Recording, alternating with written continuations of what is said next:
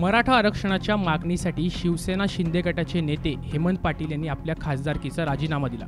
त्यांनी एक पत्र लिहून आपल्या खासदारकीचा राजीनामा दिला. त्यांच्या राजीनाम्याचं पत्र सध्या सोशल मीडियावर तुफान व्हायरल होत आहे.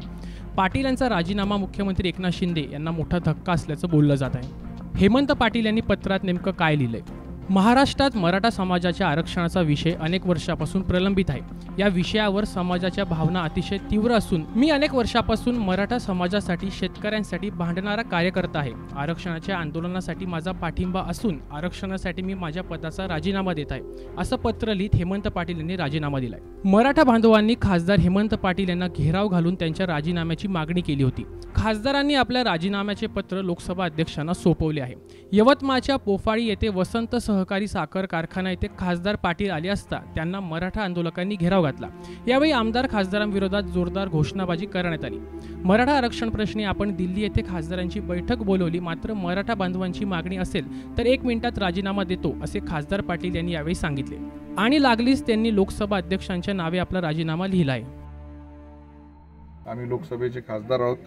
दिल्लीमध्ये यापूर्वी सर्व खासदारांची मी बैठक बोलवली होती. तेवीस खासदार याच्यामध्ये सहभागी झालेले होते. आणि दिल्लीमध्ये मी स्वतः लोकसभा अध्यक्षांना भेटून हा राजीनामा देणार आहे.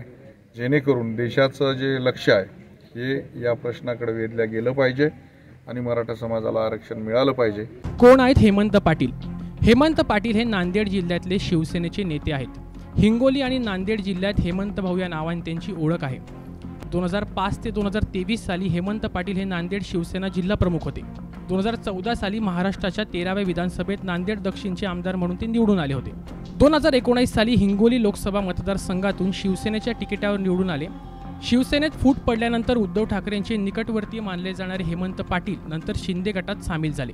अलीकडेच नांदेडमधील घटनेमुळे हेमंत पाटील यांचं नाव राज्यभरात चर्चेत आलं होतं. रुग्णालयाच्या डीनकडून शौचालय स्वच्छ करून घेतानाचा व्हिडिओ व्हायरल झाला होता. या घटनेमुळे हेमंत पाटील यांच्यावर ॲट्रोसिटीचा गुन्हा दाखल झाला होता.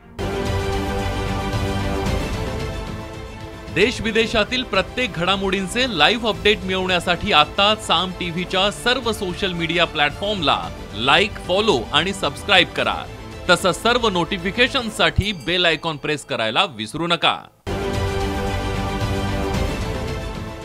देश विदेशातील प्रत्येक घडामोडींचे लाईव्ह अपडेट मिळवण्यासाठी आता साम टीव्हीच्या सर्व सोशल मीडिया प्लॅटफॉर्मला लाईक फॉलो आणि सबस्क्राईब करा.